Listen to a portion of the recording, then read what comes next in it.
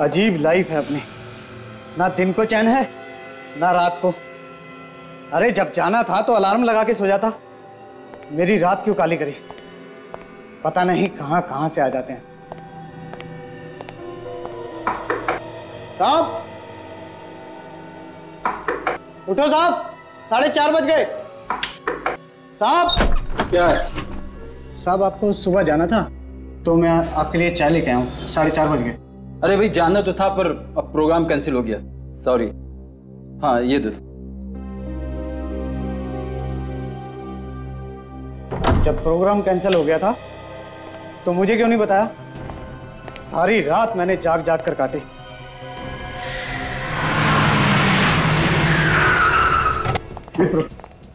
कमरा नंबर 104 में से खून आ रहा है। 104 हाँ जी आइए। ये देखिए जल्दी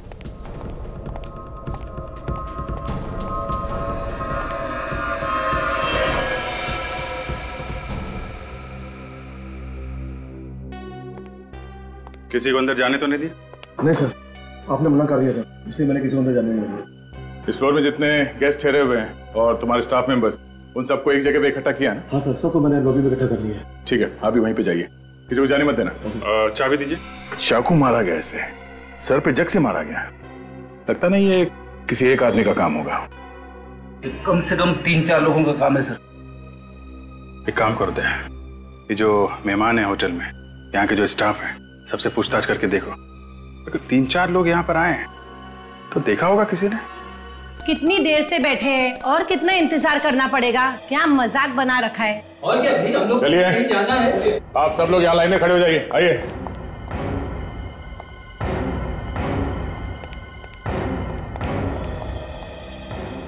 आप लोगों में से सबसे पहले दरवाजे के बाहर खून किसने देखा? सर मैंने। तुमने? कितने बजे थे उस वक्त? सर साढ़े चार बजे। साढ़े चार बजे क्या करने गए थे तुम कमरे में? किसी गेस्ट को उठाने गया था सर। जब तुम आ गए तो तुमने सिर्फ़ खून देखा या किसी को भागते हुए देखा वहाँ से? सर सिर्फ़ खून ही देखा था सर। गोली चलने की आवाज़ सुनी किसी ने? कमाल है सर। गोली चलने की आवाज़ किसी ने नहीं सुनी। ऐसा कैसे हो सकता है? उस आदमी की मौत गोली लगने से हुई। कमरे का सारा सामान उल्टा पुल्टा हुआ पड़ा है। और आप में से किसी ने भी कोई आवाज़ नहीं सुनी हाँ? सर वाकई में मैंने कोई आवाज़ नहीं सुनी। सर मुझे तो तब पता चला जब जब ये चिल्लाया सर। सबके सब बहाने बना रहे हैं सर। सबके सब। खून इन्हीं में से किसी ने किया है। ये आप क्या कह रहे हैं सर? हम लोग खून क्यों करेंगे? हम तो उसको जानते भी नहीं है। आप चाहे तो पता लगा सकते हैं। पता लगा लेंगे। होटल के गेस्ट और स्टाफ को मिला के कितने लोग हैं यहाँ पे? सर दस आदमी मुझे मिलाकर ग्यारह। तुम कहाँ पे थे? तो मैं अपने रिसेप्शन पर था। अचानक चीखने की आवाज़ सुनी और मैं भागकर चला गया। सर मैं रात में बाथरूम जाने के लिए उठा था। तभी कुछ सामान गिरने की आवाज़ तो सुनी थी लेकिन गोली चलने की नहीं। तो फिर तुमने इसके बारे में किसी को बताया क्यों सर मुझे लगा होटल में कुछ काम वगैरह चल रहा होगा। और वैसे भी मैं नींद में था। ये सामान गिरने की आवाज़ कितने बजे आई थी?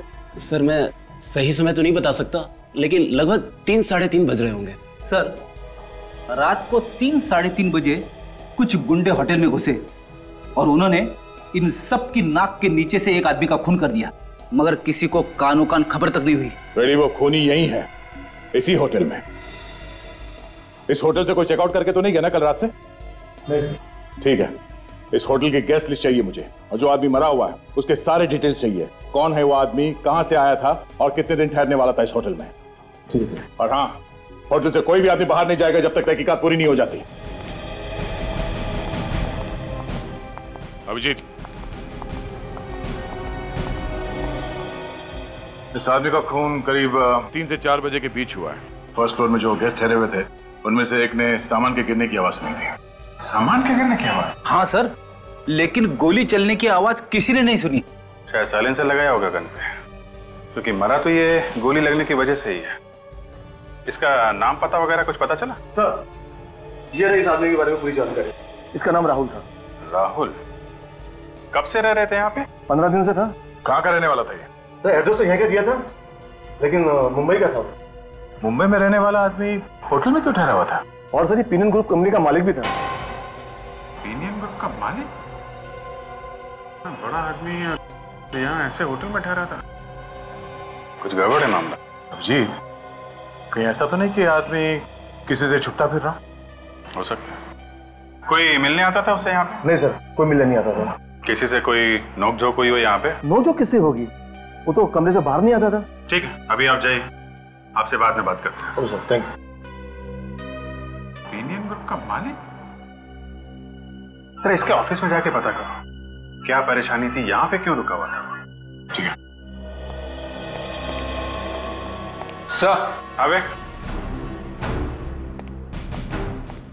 सर ये सारे हाथों के निशान अजीब दिख रहे हैं सर। आम आदमी के हाथों पे ऐसी रेखाएँ और ऐसी उंगलियाँ नहीं होती। ये कुछ अलग तरह का हाथ है सर।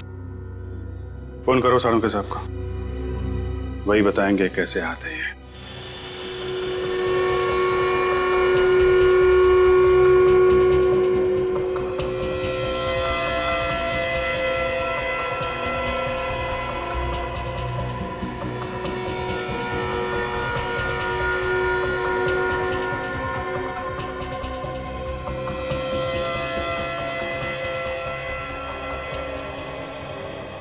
क्या हुआ डॉक्टर साहब? सर क्यों हिला रहे हैं? आपको भी पता नहीं चला ये निशान किसके हैं? पता चल गया अभिजीत। अरे तो फिर सस्पेंस क्यों बढ़ा रहे हैं डॉक्टर साहब? बताइए ना। बस तुम्हारा शक एकदम सही था। ये पंजे का निशान एक जानवर का है। जानवर के हैं? डॉक्टर साहब कहीं आप किसी कोरेला या चिंपैंजी की बात तो नहीं कर रहे हैं? एग्जैक्टली विवेक। ये निशान एक चिंपैंजी के हाथ का है। गॉड तो खूनी एक चिंपैंजी है। और सर शायद इसीलिए पंजों के निशान छत की तरफ़ जा रहे हैं।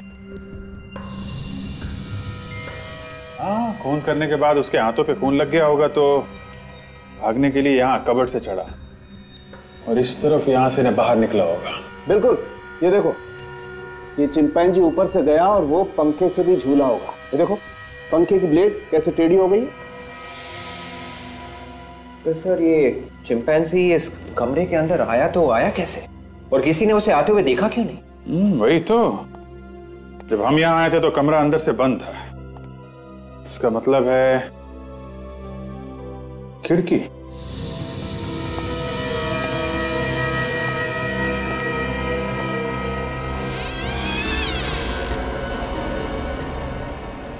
यहाँ तो कोई पंजे का निशान है नहीं। ना आने के, ना जाने के। जाते समय तो ब्लड लगा था ना उसके हाथ पे। कहीं खून के निशान भी नहीं दिख रहे कहीं बाथरूम से तो नहीं?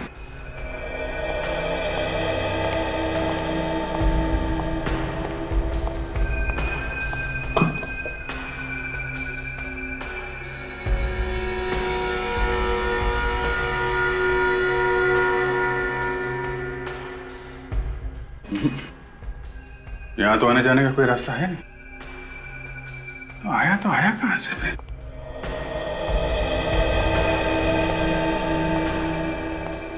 सर एक और बात।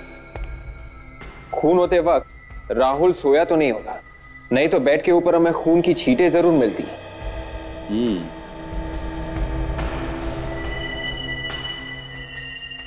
हो सकता है वो उस वक्त बाथरूम में होगा। जैसे ही बाथरूम से आया चिंपांजी ने उस पर हमला कर दिया। और उसे चिल्लाने का मौका भी नहीं मिला होगा। ये चिंपांजी यहीं कहीं छुप के बैठा होगा। ठीक कह रहे हो जी। अरे डॉक्टर साहब कहाँ हैं आप? यही हूँ यार। यहाँ कहाँ हो? अरे यहाँ हूँ यहाँ बेड के नीचे। बेड के नीचे? अरे यहाँ क्या कर रहे हैं आप? इन्वेस्टिगेशन कर रहा हूँ यार। इन्वेस्टिगेशन आप? अरे डॉक्टर साहब आप इन्वेस्टिगेशन करोगे तो हमारी नौकरी तो गई खतरे में। अरे नहीं यार तुम लोगों की मदद कर रहा हूँ। अच्छा अच्छा क्या क्या मिला आपको? बॉस वो चिंपैंजी यहाँ छुप के बैठा हुआ था इस बेड के नीचे। ये देखो यहाँ पर उसका पसीना लगा हुआ है।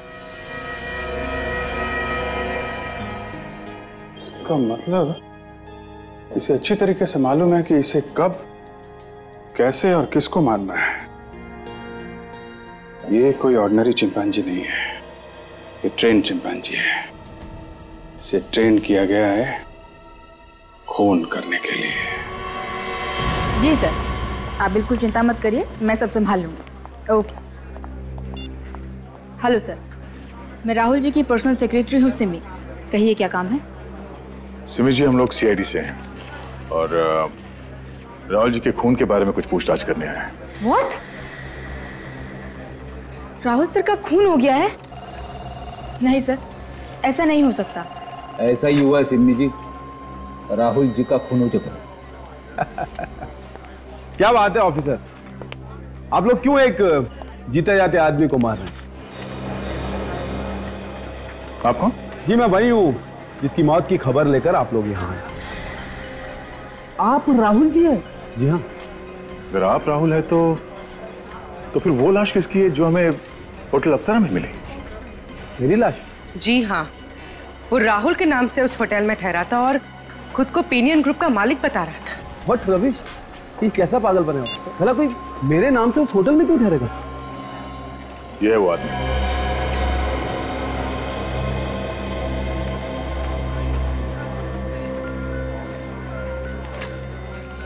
क्या हुआ? देखकर ये आपकी सांस उखड़ने क्यों लगी? नहीं ऑफिसर ऐसा कुछ नहीं है। एक्चुअली कभी किसी लाश की फ़ोटो नहीं देखी। इस आदमी को जानते हैं? जी नहीं ऑफिसर वैसे इसका खून किसने किया? यही पता लगाने की कोशिश कर रहे हैं हम लोग कि इसका खून किसने किया है। मगर एक बात समझ में नहीं आ रही है कि यह आदमी आपकी पहचान लेके होटल में क्यों ठहरा हुआ था? ऑफिसर मैं भी इसी बात पर हैरान हूँ कि आखिर ये कौन है और मुझे बदनाम क्यों करना चाहता है? कौन कर सकता है ये? मुझे तो इस बारे में कुछ नहीं पता ऑफिसर। आप लोग पता कीजिए ना। एक्सक्यूज मी ऑफिसर मुझे कुछ ज़रूरी काम है। अगर आपकी इजाज़त हो तो मैं जा सकता हूँ। आपको कोई भी हेल्प चाहिए तो सिमी आपकी हेल्प करेगी। ठीक है आप जाइए। थैंक यू ऑफिसर ये आदमी ज़रूर कुछ ना कुछ छुपा रहा है हमसे। मैं तो कहता हूँ राहुल जी जानते उस आदमी को। किसी वजह से बता नहीं रहे। और उसी वजह से खून हो गया उस आदमी का। वो कैसे सर? राहुल का कोई दुश्मन होगा? जिसने उस आदमी को राहुल समझ के मार दिया। देखो जो कुछ भी मालूम है बता दो। घबराओ मत। सर उनकी जान के दुश्मन तो बहुत हैं। कौन कौन लोग हैं?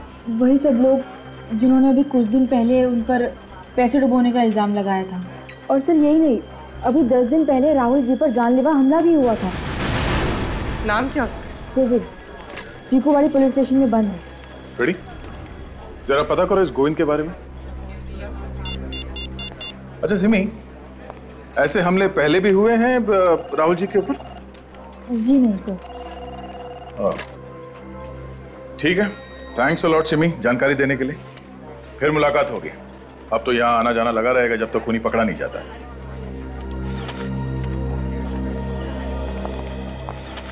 सर ये गोविंद कल ही दोपहर को ढाई बजे जमानत पे रिहा हुआ है। सर वो घर पे नहीं है सर। मैंने अपने खबरियों को बता दिया है। जैसे ही उन्हें गोविंद के बारे में कुछ पता चलेगा वो हमें बता देंगे।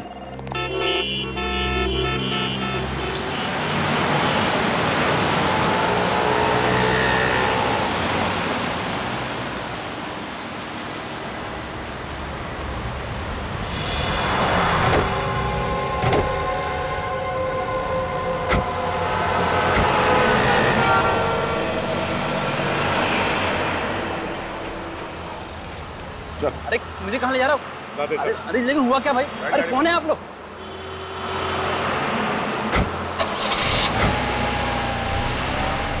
साहब मुझे क्यों उठा लाए साहब?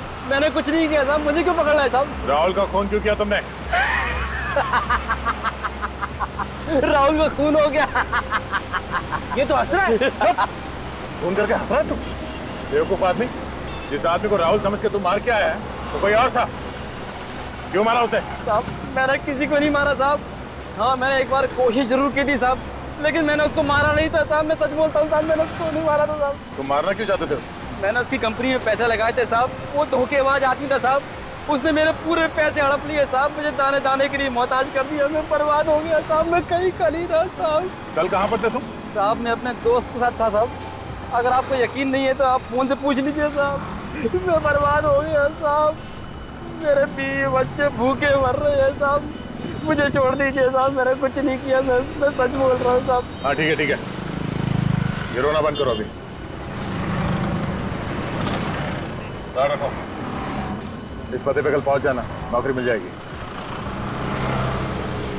अरे पैसे रखो। ऑटो लोग के सीधा घर पे जाना बच्चे के पास समझा? जी साहब धन्यवाद साहब। हाँ डॉक्टर साहब क्या पता चला? अरे यार क्या बताऊँ? अभिजीत क्या पता चला? बहुत गड़बड़ हो गई बस। गड़बड़ हो गई? क्या हुआ क्या? पहली बार ज़िंदगी में मेरा इन्वेस्टिगेशन गलत हो गया। गलत हो गया? अरे लेकिन हुआ क्या? ये तो बताइए। अरे यार वो पसीना मिला था ना हमें बैठ के नीचे। हाँ वो चिंपैंजी का पसीना। नहीं नहीं लैब में आकर के उस पसीने का एनालिसिस किया तो पता चला वो पसीना तो चिंपैंजी का है ही नहीं। चिंपैंजी का नहीं है? नहीं। अरे तो फिर किसका है? वो पसीना तो एक आदमी का है। आदमी का? हाँ। मतलब वहाँ पे चिंपैंजी नहीं आदमी था। नहीं नहीं वहाँ पर चिंपैंजी के साथ एक आदमी था उसका पसीना है ये। ओहो ये तो बड़ा अच्छा काम किया आपने। हाँ नहीं तो हम लोग तो चिंपैंजी के पीछे पड़े रहते और ये खूनी खुलेआम घूमता रहता। हाँ अच्छा ये इस आदमी के बारे में कुछ पता चला? नहीं बॉस उसकी फिंगरप्रिंट्स का एनालिसिस चल रहा है। अगर हमारे डाटा में होगा तो मैच हो जाएगा पता लग जाएगा। लेकिन मैं तुम्हें एक बात और बताना चाहता हूँ। वो क्या है? जरा लाइट ऑफ़ करो। लाइट ऑफ़ कर। ये देखो बॉस। ये स्क्रीन पे ये गोली देख रहे हो? ये गोली हमें इस आदमी के शरीर में से मिली है। और इस गोली पर ये जो खास किस्म के निशान बने हुए हैं, ये उस गन के निशान है, जिस गन से ये गोली चली। अब हम हमारे रिकॉर्ड में चेक करेंगे। पिछले दस साल में जितनी भी गोलियाँ हमें मिली हैं, उसमें से किस किस गोली पर इस तरीके के निशान है? उसी से पता चलेगा, ये गन पहले भी कभी इस्तेमाल की गई है क्या? और अगर इस्तेमाल हुई है तो कब और किस पर? ओके तारिका जरा चेक कर। पर सर इस कैलिबर यानी पॉइंट थ्री टू की तो हज़ारों गन होंगी तो पता कैसे चलेगा? निखिल कोई भी गन से चली हुई हर गोली पर एक जैसे ही निशान होते हैं। इसलिए गन का पता लगाया जा सकता है। देखो जरा। देखो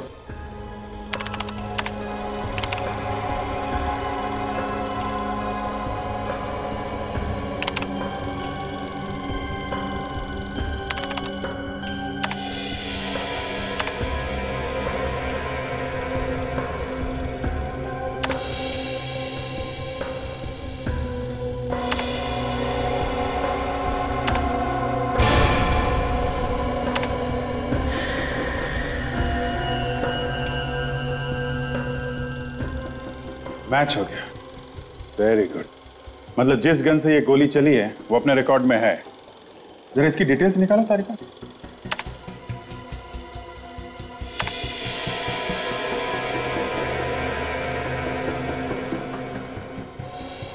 अरे, ये तो यही आदमी है जिसकी लाश हमें अप्सरा होटल से मिली थी। मगर ये आदमी राहुल बन के अप्सरा होटल में क्यों ठहरा था?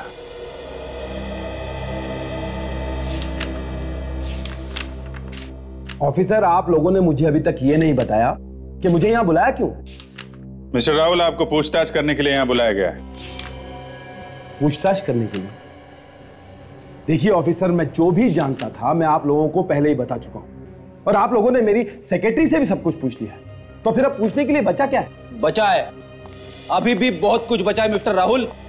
पूछताछ करने के लिए। हाँ बेटे सर फिंगरप्रिंट्स की रिपोर्ट आ गई। किसका नाम है?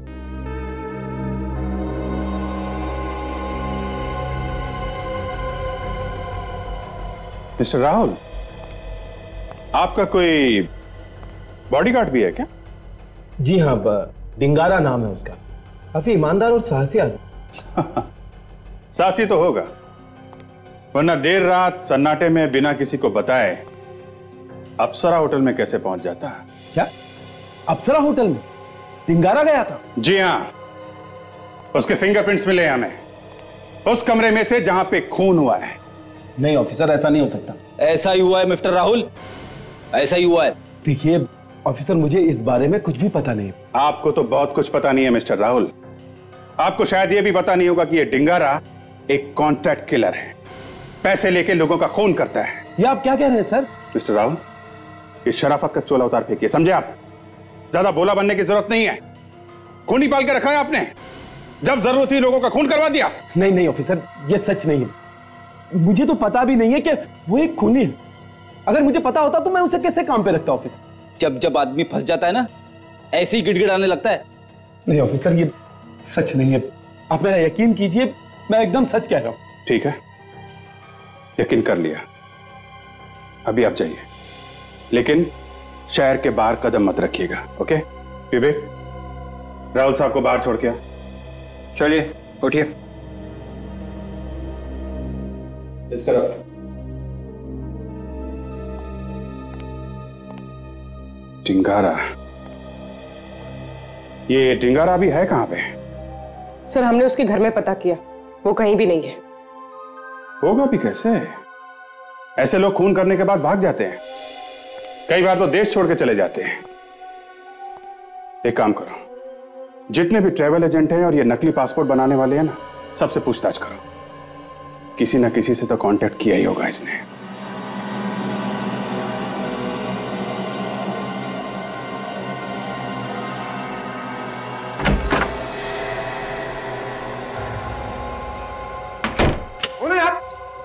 बिना पूछे अंदर कैसे आए आप?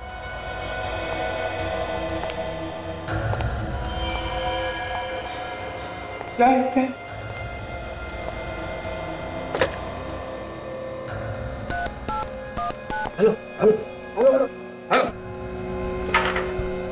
क्या चल रहा है? हाँ?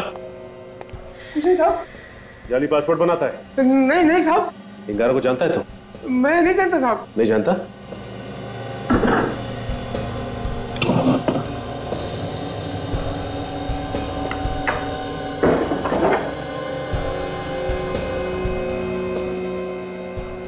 हाँ। मुझे नहीं मालूम डिगारा इसका पासपोर्ट है। ये डिंगारा हाँ डिगारा मालूम नहीं साहब। नहीं मालूम? नहीं। तू ऐसे नहीं बताएगा। और सच बोलता है या उड़ा दूँ तेरी खोपड़ी? इतने टुकड़े होंगे ना खोपड़ी के कि गिनना मुश्किल हो जाएगा। मालूम नहीं साहब। ब- बताता हूँ बताता हूँ सब बताता हूँ साहब। ये आदमी आज यहाँ आने वाला साहब। कितने बजे? आ गया साहब। जाके दरवाज़ा खोल। और सुन ज़्यादा होशियारी नहीं। इतनी देर क्यों की दरवाज़ा खोलने में? अरे काम कर रहा था ना? पक्का? हाँ। कोई गड़बड़ तो नहीं है? अरे गड़बड़ क्या हो सकती है? आओ तुम्हारा पासपोर्ट रेडी है।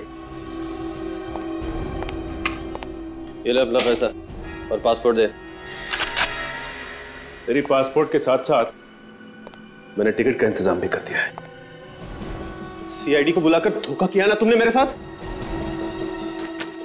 तेरे हथकड़ी पहना इसके हाथ में।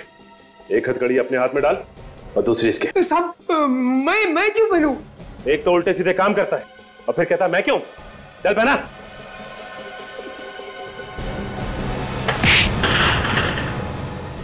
अरे अरे साहब साहब मु- मु- मु- मुझे क्यों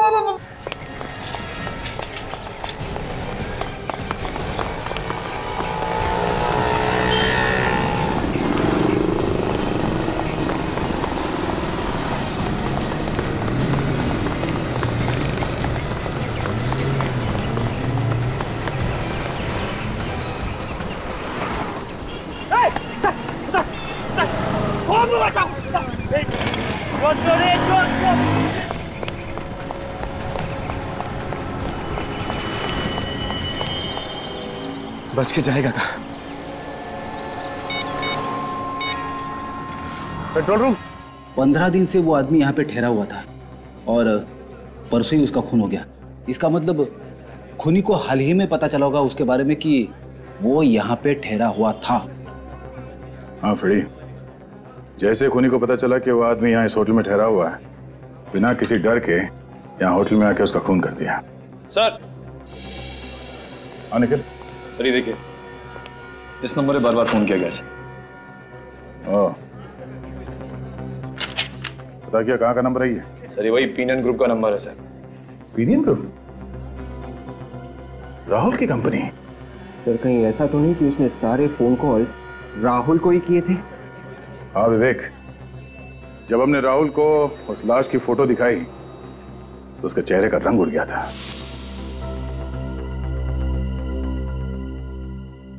सारे फ़ोन कॉल्स राहुल को ही किए गए हैं। राहुल ने हमसे झूठ क्यों बोला? राहुल को फिर से मिलता है।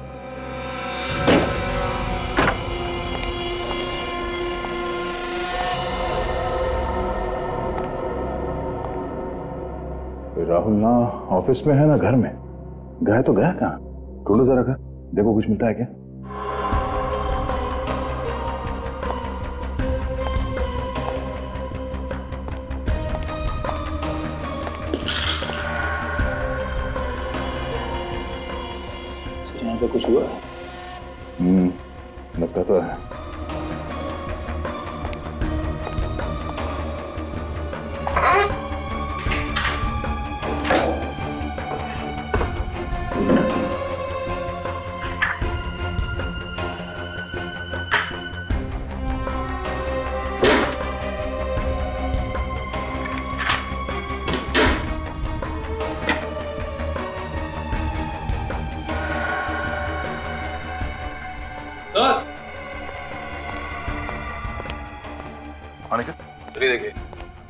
स्टोर में गन छुपा के रखी गई है। एक गोली चली है इसमें से। और कहीं सूरज को इसी गन से तो गोली नहीं मारी गई है। हो सकता है। पॉइंट थ्री टू कैलिबर की गन है ये। उसी गन से मारा था सूरज पे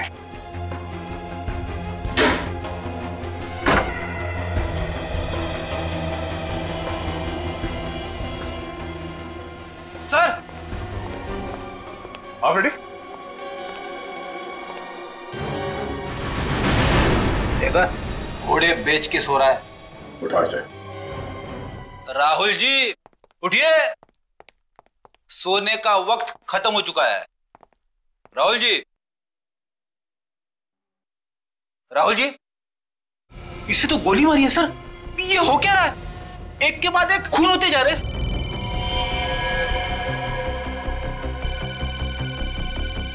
सर डिंगारा का फ़ोन। हेलो डिंगारा हेलो राहुल सर। हाँ बोल रहा हूँ। सर आप मिलने नहीं है मैं आपका कब से इंतज़ार कर रहा हूँ? वो- वो अ, मैं जरा बिज़ी था। सर आपसे मिलना भी तो बहुत ज़रूरी है सर। हाँ मालूम है मालूम है। आप राहुल सर ही बोल रहे हो ना? हाँ क्यों? क्या हुआ? नहीं वो आपकी आवाज़ कुछ बदली नज़र आ रही है इसलिए बोलो हाँ, वो जरा गला बैठ गया। आप जल्दी से आ जाइए सर। मगर तुम कहाँ पे हो? वहीं पर जहाँ आपसे मिलने की बात हुई थी सर। देखो डिंगारा मैं वहाँ पे नहीं आ सकता। ए- एक काम करो तुम ऑफ़िस में आ जाओ। सर मैं ऑफ़िस में ही तो हूँ। ऑफ़िस में हो?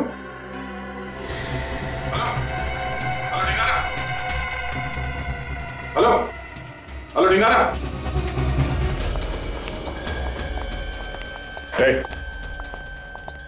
दरवाज़ा खोलो। क्या हुआ सर? मैंने बोला दरवाज़ा खोलो जल्दी। अंदर कोई नहीं है सर। वो हम देख लेंगे दरवाज़ा खोल पहले।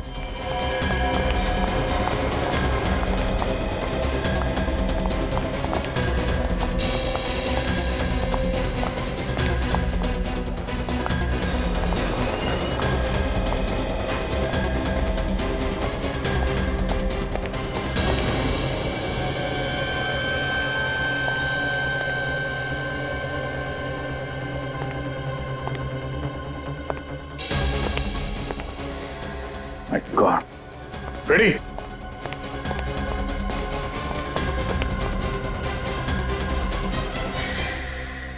अरे सर ये तो डिंगर है। ये मर चुका है। बॉडी बैठो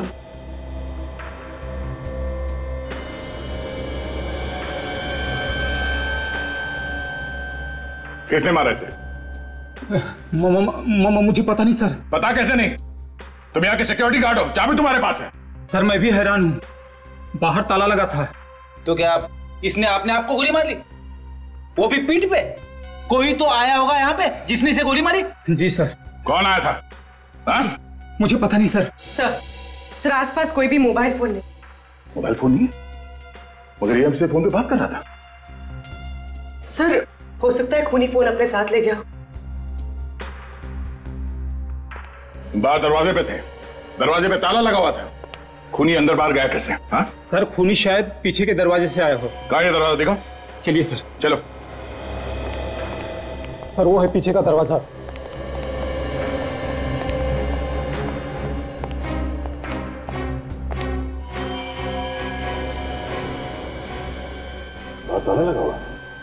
सर खूनी यहीं से अंदर आया और खून करके यहीं से गया।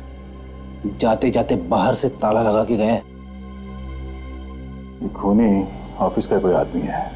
इसके पास इस ताले की चाबी है। कौन हो सकता है वो? एक अनजान आदमी।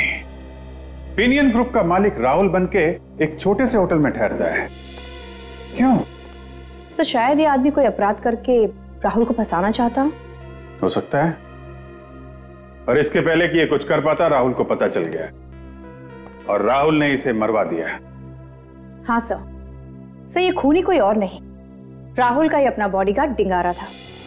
मगर सर राहुल को किसने मारा होगा? अब ये डिंगारा तो हो नहीं सकता। क्योंकि उसे मालूम नहीं था कि राहुल मर चुका है। उसने तो फ़ोन करके राहुल को ऑफ़िस में बुलवाया था मिलने के लिए। हाँ सर और थोड़ी देर में डिंगारा का भी खून हो गया। है कौन ये आदमी? है कौन ये आदमी जो एक एक करके खून किए जा रहा है? सही जो कोई भी है जानता था। जानता था कि राहुल इस वक्त घर में है और डिंगारा ऑफ़िस में। अच्छा काजल ये आदमी हर रोज पिनियन ग्रुप में फ़ोन करता था ना? हाँ सर। रोज कम से कम एक दो बार तो करता ही था। हाँ। खूनी ऑफ़िस का ही कोई आदमी है। राहुल का बहुत करीबी जिसे राहुल के बारे में हर एक बात मालूम थी। इस कमरे के अंदर आने का इस दरवाजे के अलावा सिर्फ़ एक ही रास्ता है। ये खिड़की।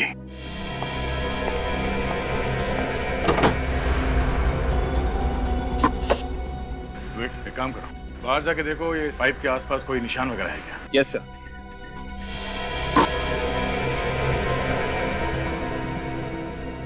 ध्यान से।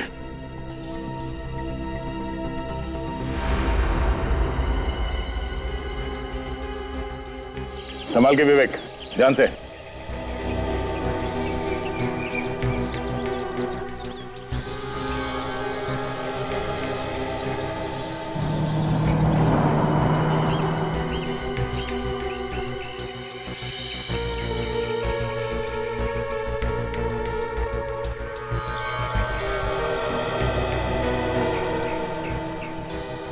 सर, यहाँ पे खूनी के हाथों के निशान है, सर।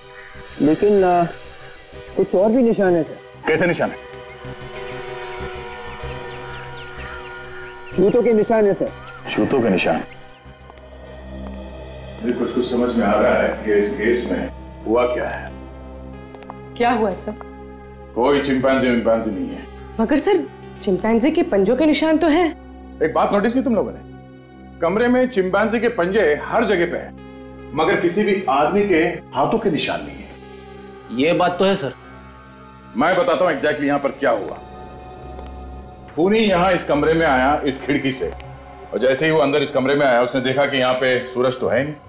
इसलिए वो बेड के नीचे छुप गया। जहाँ हमें पसीने के निशान मिले थे वहाँ पे। और शायद उस वक्त सूरज बाथरूम के अंदर होगा। और जैसे ही सूरज बाथरूम से बाहर आया खूनी ने फ़ौरन चिंपांजी के पंजों जैसे दस्ताने पहन लिए।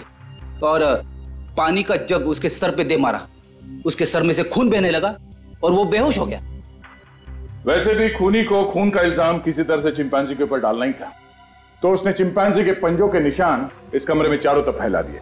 मगर एक बात, अगर चिंपैंजी ऐसे छत पे जाता है, सीलिंग की तरफ़ तो वो बीम पर लटकेगा। ऐसे छत पे, ऐसे तो जा नहीं सकता। ये देखो, नामुमकिन नहीं है। और फिर खूनी ने सूरज को चाकू से कई बार वार किया। और उसके बाद जब खूनी को लगा होगा कि शायद सूरज बच जाएगा तो फिर उसने उसे गोली भी मार दी। मगर खूनी ये भूल गया कि चिंपैंजी आग और धमाके से बहुत डरता है। वो गन कभी नहीं चला सकता। सर चिंपांजी के पंजों जैसे दस्ताने बनवाने के लिए खूनी ने कहीं ना कहीं पे तो ऑर्डर दिया होगा? इस तरह के दस्ताने ज़्यादातर रघु बनाता है।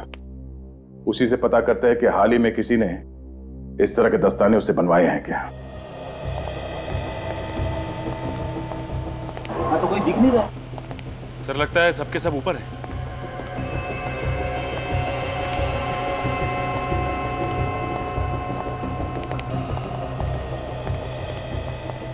अरे अरे कहाँ से चले आ रहे हैं आप लोग? रघु कहाँ जरा बुलाओ उसे। देखिए हमारे साहब की भी कोई इज़्ज़त है। आप ऐसे ही पूछे जा रहे हैं कि रघु कहाँ है? ठीक है। आपके साहब रघु जी इस वक्त कहाँ हैं? उन्हें बताइए सीआईडी वाले आए आप सर रघु सर तो यहाँ पर नहीं है वो आ, वो कहीं गए कहाँ गए वो? सर मुझे नहीं मालूम। हाँ सर जाते वक्त बोल रहे थे कि किसी क्लाइंट से मिलने जा रहे हैं। अच्छा। ये पिछले कुछ दिनों में तुमने किसी को चिंपांजी के पंजे बना के दिए? हाँ सर दिए थे। किसको बना के दिया था ग्लव सर ये तो नहीं पता कि किसको दिया है। मगर सर चिंपांजी के ग्लव हाल ही में यहाँ से बन के गए। ये कस्टमर को पहचानते हो तुम? नहीं सर। दरअसल वो खुद दुकान पे कभी आया ही नहीं। रघु सर ही जाते थे उससे मिलने के लिए। यहाँ तक कि ऑर्डर भी रघु सर ने खुद ही लिया था। अच्छा तुम्हारे ये रघु सर अब किस कस्टमर को मिलने गए कुछ बता के गए नाम पता? नहीं सर। उन्होंने नाम भी नहीं बताया। सर कहीं ये रघु अभी भी उसी कस्टमर से मिलने तो नहीं गया? हो सकता है। एक काम करो इस रघु का नंबर लो। मोबाइल कंपनी वालों से पता करो इस वक्त मोबाइल की लोकेशन कहाँ है। रघु है कहाँ पे? क्या हुआ? मुझे क्यों बुलाया? पैसे देने के लिए। ये ले। और कोई मास्क वगैरह नहीं चाहिए क्या? नहीं। तो फिर इतने छोटे से मास्क के लिए इतने पैसे? ताकि तुम खुशी खुशी मर सको। ये ये क्या कह रही हैं आप? मैं सच कह रही हूँ। ये ये क्या पागलपन है? आप मुझे क्यों मारना चाहती हैं? मैंने आपका क्या बिगाड़ा है। इससे पहले कि सीआईडी के हाथ मेरी गर्दन तक पहुँचे मैं सारे भाग काट डालूँगी। सारे सबूत मिटा दूँगी मैं। कर नीचे करो सिमी जी। खेल खत्म हो गया तुम्हारा। अरे मर गए मेरा खेल खत्म करने वाले। इतनी जल्दी हार मानने वालों में से नहीं हूँ मैं। अगर किसी ने भी मुझे रोकने की कोशिश की तो इसे मार डालूँगी। मौत के मुँह में खड़ी हो फिर भी मज़ाक कर रही हो? मज़ाक नहीं कर रही हूँ मैं। सच में इसे मार डालूँगी। मार डालो। ये ज़िंदा रहे या मर जाए हमें क्या फ़र्क पड़ता है? लेकिन तुम तुम ज़िंदा नहीं बचोगे। अरे सर सर ये आप क्या कर रहे हैं? सर सिमी को जाने दीजिए प्लीज़ सर सर अगर इसे मार डालोगे तो एसीपी साहब को क्या जवाब देंगे हम? उनको बोल देना मुठभेड़ में मारी गई। अरे बाप रे अब इन्हें कोई नहीं रोक सकता मैडम। इससे पहले भी इन्होंने कई अपराधियों को ऊपर पहुँचा दिया है। नहीं आप लोग मुझे नहीं मार सकते। सर सर इसे जाने दीजिए। मत मारिए सर इसे। मैं मरना नहीं चाहता। ये साइड वाले आपके साथ साथ मुझे भी मार डालेंगे। ये क्या बचाएगी तुम्हें? इसकी तो खुद जान खतरे में मुझे माफ़ कर दीजिए। मुझसे गलती हो गई। मुझे माफ़ कर दीजिए। हर अपराधी पकड़े जाने के बाद ऐसा ही कहता है। क्यों किए सारे खून तुमने? पैसों के लालच ने मुझे अंधा कर दिया था। मैंने मैंने राहुल और सूरज की बातें सुन ली थी। कैसी बातें? सूरज राहुल से पैसे मांग रहा था। और राहुल को धमकी दे रहा था कि अगर राहुल ने सूरज को पैसे नहीं दिए तो वो राहुल की सच्चाई सबको बता देगा। कैसे सच्चाई? कुछ साल पहले ये लोग पैसा ढकने का काम किया करते थे। इनकी एक क्रेडिट कार्ड कंपनी भी थी जो फ्रॉड थी। तो इसलिए राहुल पैसे देने के लिए तैयार हो हैं? हाँ। तभी मैंने ढिंगारा के साथ मिलकर प्लान बनाया कि जो पैसे राहुल सूरज को देने वाला है वो हम ले लेंगे। तो तुमने डिंगारा को होटल में भेजा। वहाँ उसने सूरज का फ़ोन कर दिया और सारा पैसा लेके आ गया। और इस केस को मिस्ट्री बनाने के लिए हमने वह चिंपैंजी के पंजे भी बना दिए। लेकिन राहुल का फ़ोन क्यों किया तुमने? जैसे ही सीआईडी को डिंगारा के बारे में पता चला तो मैं तो मैं डर गई थी। मुझे लगा कि डिंगारा सीआईडी को और राहुल को मेरे बारे में सब कुछ बता देगा। इसलिए डिंगारा के कुछ बताने से पहले ही तुमने राहुल को मार दिया। हाँ। गुनाह कभी छुपता नहीं है सनी जी। कभी न कभी सामने आ ही जाता है। बहुत दिमाग दड़ाया तुमने बहुत प्लानिंग की लेकिन एक गलती कर दी चिंपैंजी के दस्ताने बनवाने की। तीन तीन खून किए हैं तुमने। तुम्हें तो फांसी ही होगी।